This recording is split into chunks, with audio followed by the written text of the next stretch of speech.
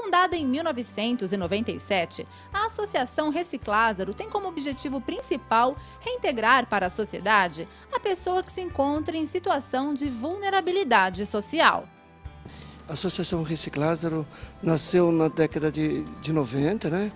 quase finalzinho da década de 90, e é uma associação que nasceu, nasceu com o intuito, com o objetivo, com o carisma de resgatar vidas, de buscar dignidade do usuário de álcool, do homem que vivia em situação de rua, da mulher que vivia em situação de rua.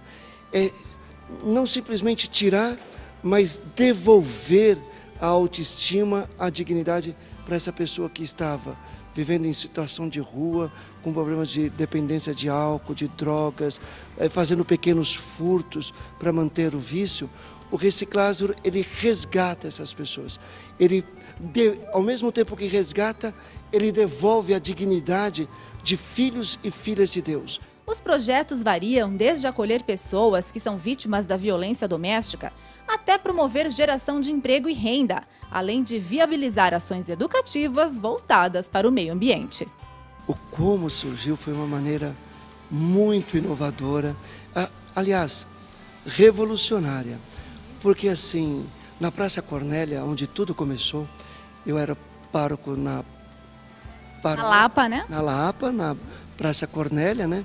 e a igreja abria as portas e dava de frente para a praça. Uma praça que vivia muitos homens e mulheres em situação de rua, usando abuso, com abuso, álcool e droga, a questão da violência, a polícia, eh, muitas vezes despreparada para lidar com, com essa população. E o que aconteceu? abri as portas da igreja, nós alugamos um sobrado ao lado da igreja e trouxemos essas pessoas para dentro da igreja. Toda ação social só tem continuidade quando outras pessoas colaboram para que isso aconteça. Por isso, a participação de toda a comunidade é sempre bem-vinda, assim como aqueles que precisam de apoio em momentos difíceis da vida. A mensagem que eu tenho é é importante, importante acreditar.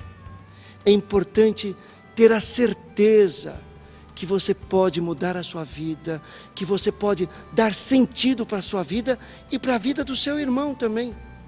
Por isso você pode muito bem ser ajudado no reciclázaro, mas ao mesmo tempo que você é ajudado, você também pode ajudar o outro. E quando eu, eu saio do meu sofrimento, do meu eu, e vou em busca do outro, eu acabo também automaticamente né, me ajudando também. Porque eu acabo buscando sentido para a minha existência, razão para a minha existência. O ajudar o outro, é, é, ajudo e, e também sou ajudado. Não é uma troca, não é no sentido de troca, mas é no sentido de buscar uma razão para a minha vida.